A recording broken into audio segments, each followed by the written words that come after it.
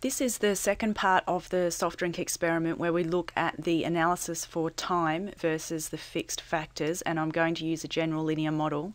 In this analysis, there are problems with the residuals, and this might be a little bit tricky. If you're just starting out with general linear models or analysis of variance, you probably want to watch the first part of this series where we look at the height um, of the fizz where the residuals are very straightforward and it's a fairly simple analysis. I suggest you watch the two overview presentations I've done to, to, so you can see what's coming up. I'll put some links to those in the description. And if you want the data for this project to follow along, uh, that's listed under the very first Minitab video for the soft drink experiment where it says getting the data into Minitab and it's just listed in the description there. Okay, so what I've got up here is some the scatter plot of height versus time. We're not actually doing the analysis of height versus time. It's just so you can see the difference between them. Height was fairly straightforward because we had four nice clumps of data that were fairly well um, spread out across the range. Time is very different. We've got this lemonade, when looking across the bottom here for time, lemonade and orange are both clumped very tightly together. The Diet Coke is spread out and the Coke is really spread out. So you can see that in the box plot of time. Lemonade and orange are fairly tightly packed. Diet Coke is spread out and the Coke is even more spread out. It does look like there's a difference between them. It definitely looks like Coke fizzes longer. Uh, but this difference in the variation is going to cause some problems with the analysis. So let's go up to stat, ANOVA, uh, general linear model. The response in this case is just time. This is the whole model similar to how I input it for the height analysis. So we've got as our model the type of soda, the height of drop, this is the height the bicarbonate of soda was dropped into the soda, uh, the amount of bicarb, and then we've got the interaction terms, type of soda times type of type of drop, uh, height of drop, type of soda times the amount of uh, bicarb, and height of drop times bicarb. I don't have a covariate in here.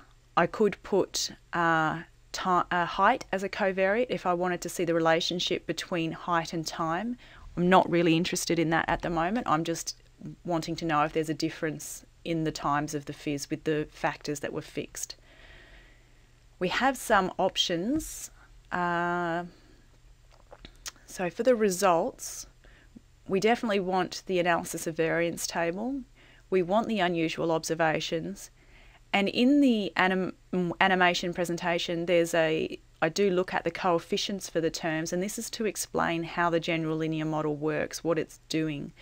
So if you wanted to get these out for yourself, you can get them out here, but we, I don't really need them just at the moment. The storage because I know that there's going to be problems with the residuals, we're going to tick that straight away and say store the standardized residuals because then we can look at them more closely. You can store the coefficient values for the model, but it just puts them out into a column without what the coefficients are for. So unless you know the order that it's putting them into the model, this won't mean a lot to you. So you probably want to use the other option here under results to spit out the coefficients if you want them. Under graphs, I do want the 4 in 1 residual plot Okay. Okay. So, residual plots. If the residuals were normal, which is what we want them to be, then they would follow this green straight line, and they, they don't. There's a wheel in the line. Um, one student told me once that his test was to put a pencil over the line, and if he couldn't see any points underneath the pencil, then they were normal, which sounds fair enough to me. So I encourage you all to get your pencils out. Uh, we can do a proper test on that, of course, because we've saved the residuals. If we look at the histogram, we can see what's wrong with the residuals. Now, they do sort of have a bell-shaped curve, but the problem is these tails are way too fat and the peak is too high. And we can, the reason I've saved the residuals is so we can fit that with a normal curve over the top so you can see for yourself what the problem is. If we look at the residuals versus the fitted values, the variance is increasing as the fitted values get larger, and this is mostly because of the Coke, the, all the variation was in the Coke times. And these really tightly packed observations here will be the lemonade and the orange.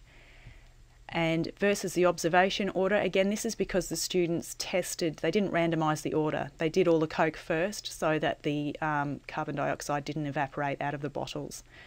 May or may not be ideal, but that was the decision they made, and so that's why we have this problem in here.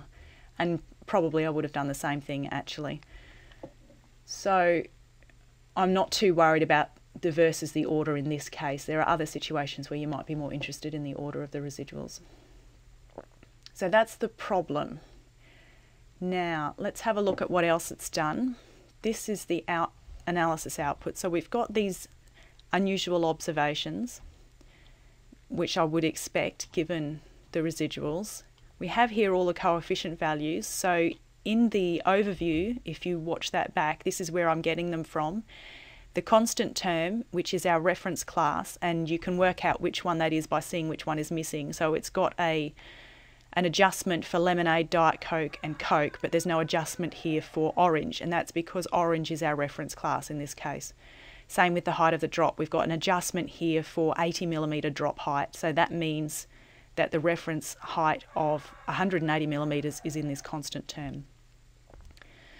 We have uh, we are explaining 88% of the variation in the data with our model, which is pretty good.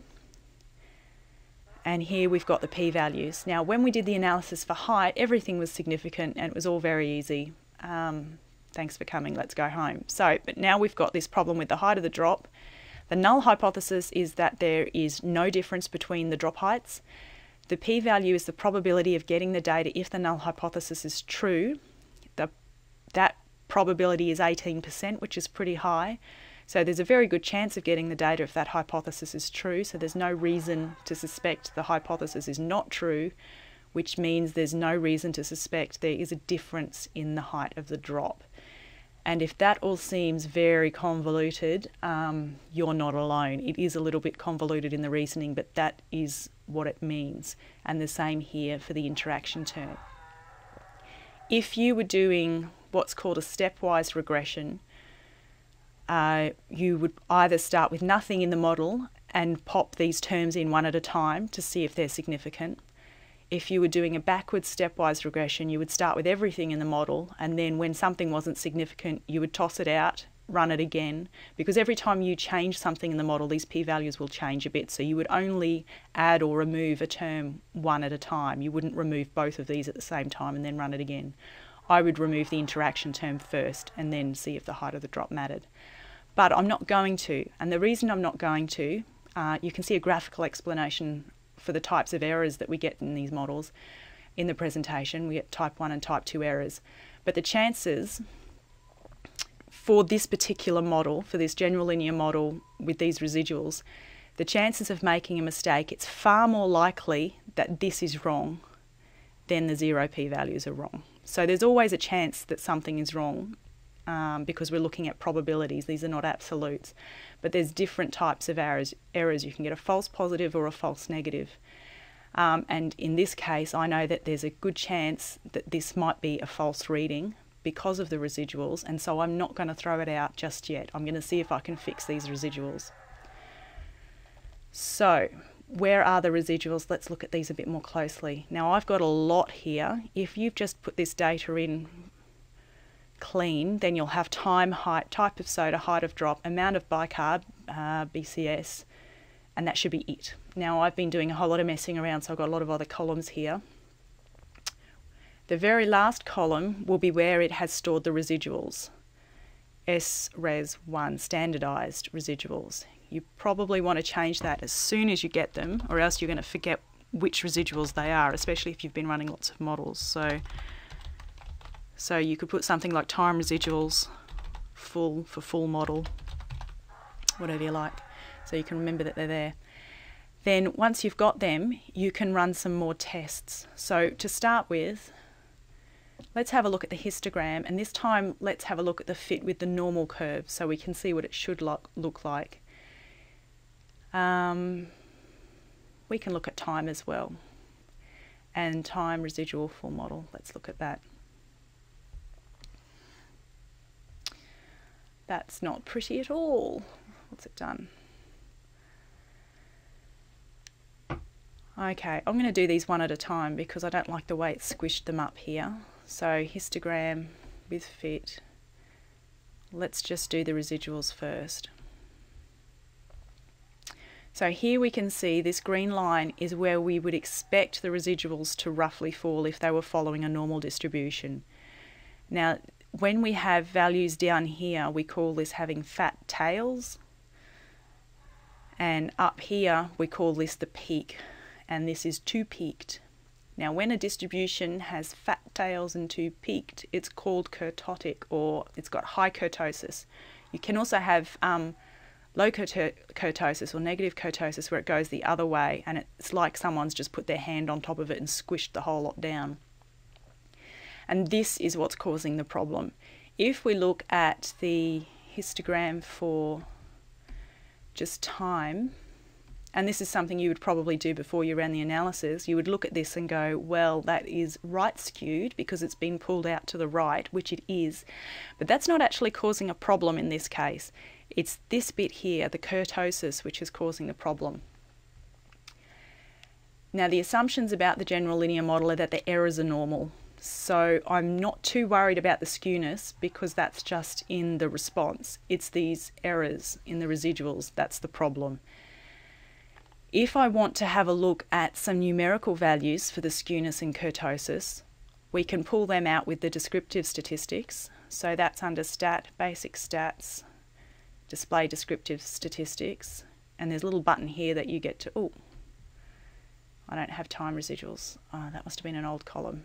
Time residuals full model. And let's look at time for comparison.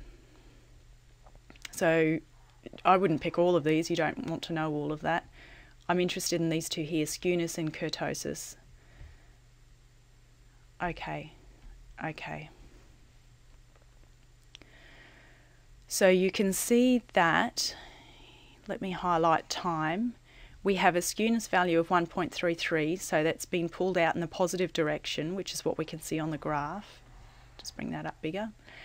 And we have this kurtosis of 1.87, which is this peaky bit which is sticking out here. And this is happening because the lemonade and the orange observations were all uh, very close together.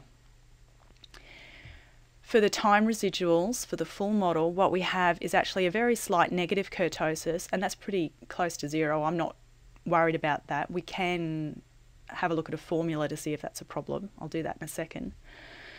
Uh, what I am worried about is this kurtosis. That's jumped up to 4.48, so that really is what's causing the problems in this case. So you can either blame Coke for being too spread out or you can blame lemonade and orange for being too tightly packed together. But either way, the fact that they have this difference, different variance is causing a problem. So the question might be, how do you uh, how do you know if this is a problem?